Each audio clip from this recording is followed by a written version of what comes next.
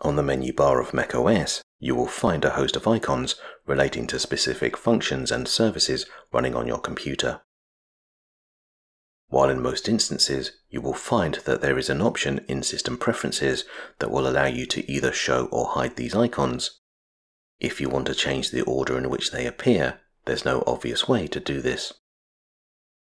So in order to rearrange the icons in the menu bar, if we hold down the Command key on our keyboard, and then with the mouse pointer hovering over an icon, pressing and holding down the button on our mouse or trackpad, we can then reposition our icon in the menu. We can also use the same technique to remove an icon from the menu bar. However, rather than moving an icon horizontally, if we drag our icon down towards the center of the screen, when we release our mouse button, the icon will be removed. However, it is worth noting that neither the control center or the time and date icons can be repositioned or removed.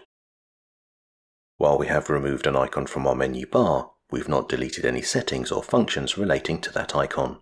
So in order to restore an icon, by simply opening System Preferences and then selecting the appropriate option, we can restore the icon that we just removed.